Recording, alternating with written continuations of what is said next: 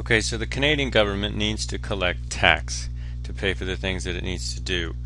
So the question is, who should it collect that tax from? Well, this evolves over quite some time, and it's a really a, a, legal matter because there's lots and lots of people in the world, and some of them are going to be subject to Canadian tax, and some of them aren't. And so the ones that are subject to Canadian tax, we call very creatively taxpayers. The question is, who is a Canadian taxpayer. Who is it that whose income who who should be sharing in the costs of running Canada? So there's a, a, number of ways countries can go on this, and Canada is among those that. Um, well, here let's think about the options. So you could do it based on citizenship, because we have this idea that if you want to be part of Canada, you um, the, the, if you're like a full-fledged member of Canada, you're a Canadian citizen, or are you? Could do it based on residence. Could do it based on lots of other things, but these are really the two that it comes down to. And what Canada chooses is residence. So what that means is we will tax people based on whether or not they are in Canada participating in Canada. And what this comes down to is a rather squishy term called Do you have a continuing state of relationship with Canada? Right? So, really, in a nutshell, are you dating Canada? so, no, I mean, are you, but that's really what it's saying is, are, are you, are you you in Canada an item? Um, are you seeing Canada to the exclusion of seeing all other countries in the world? And so this raises another um, important point. So there's a couple, few things here. So in Canada, citizenship doesn't matter. So it's not a factor in tax. In the U.S., just to note, it's the only factor, but not in Canada.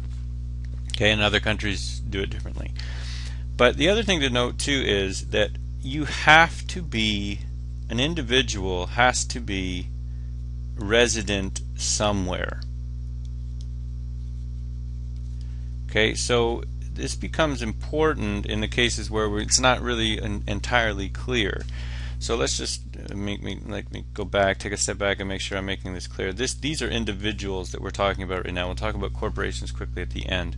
So these are people, individuals. You, are you a Canadian resident? Well, most of you are, although I, there may be a few in our class who um, their homes are somewhere else. They're international students and they're here visiting. And if that's the case for you, then you may not be liable for Canadian tax. Um, but we'll we'll try not to make this too personal for anybody. Um, so the important thing, you have to be resident somewhere and uh, your citizenship doesn't matter. So it all comes down to this do you have a continuing state of relationship with Canada? And there are, every person in the world will fit into one of three buckets. You, in any given tax year, you are either a full time resident, you are a non resident, or you are a part year resident. Okay, and these are mutually exclusive buckets, meaning you have to, every person on the planet fits into one and only one of these buckets in any given tax year in Canada. So the easy cases, people who, who have been who were born in Canada, have never left its its wonderful shores, those people are full-time residents very obvious. They're here right? They're physically here and and their families are here. Everything is going on is here. Non-resident some somebody who was born in Japan lives has lived in Japan their whole lives could maybe find Canada on a map but has definitely never been here. They are going to clearly be a non-resident of Canada. Part year resident is going to be the the one where I mean some of the trickiness arises but it isn't always clear whether somebody is a full-time resident or not. Um, and there are definitely these times where we have people, especially with a with a, a common border, so with the U.S., people who um, may look like their home is in the US, but they, they come to Canada so often that there's this idea of a deemed resident. Okay, and that's a deemed full-time resident. And really, this can come down to facts, but what this means usually boils down to is are you in the country for any part of 130, 183 days out of the year? If you are, then even though you kind of look like a non-resident, we may bump you into this bucket. Other than that, the facts are fairly clear. And why does it matter? Well, it matters a lot because these people, full-time residents, are taxed on every dollar earned worldwide. So wherever you earn a dollar, the Canadian government has a right to tax it. Whereas these people, non-residents, are only taxed on Canadian source, and that becomes a difficult thing to figure out, but we'll pretend it's easy for now. Canadian source income. So income that is sourced in Canada is taxed taxable in Canada, whether you live in Canada or not. Okay, so that's why it matters, and, and the distinction becomes important.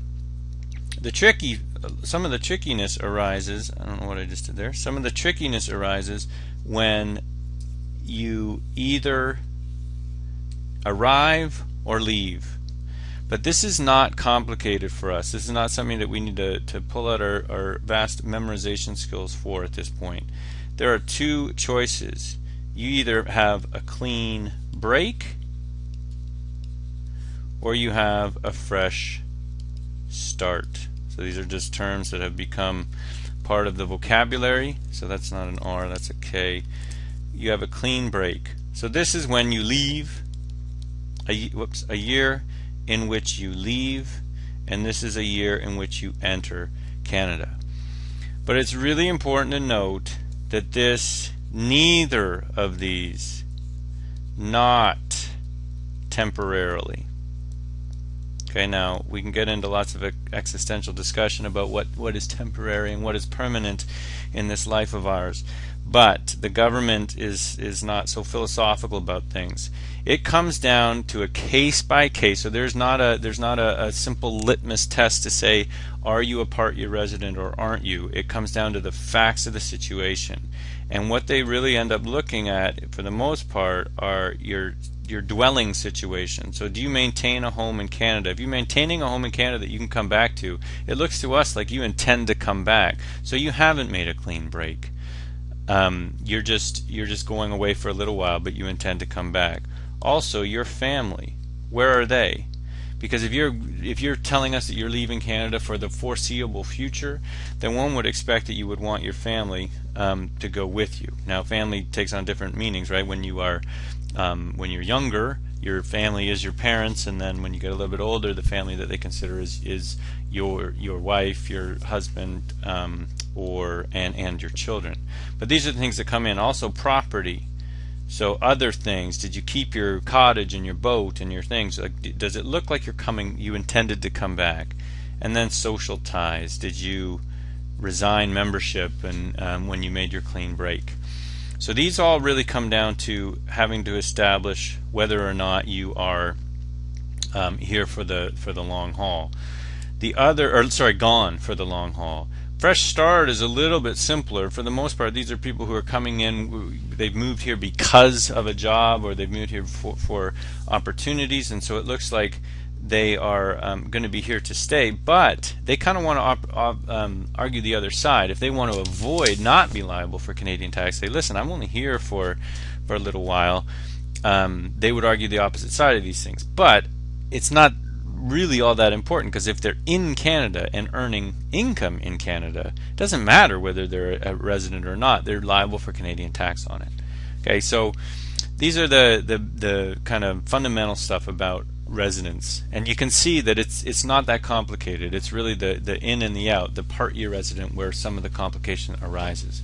As for corporations corporations the the principle is exactly the same. We want to figure out are you a resident corporation, which means Canadian, or not.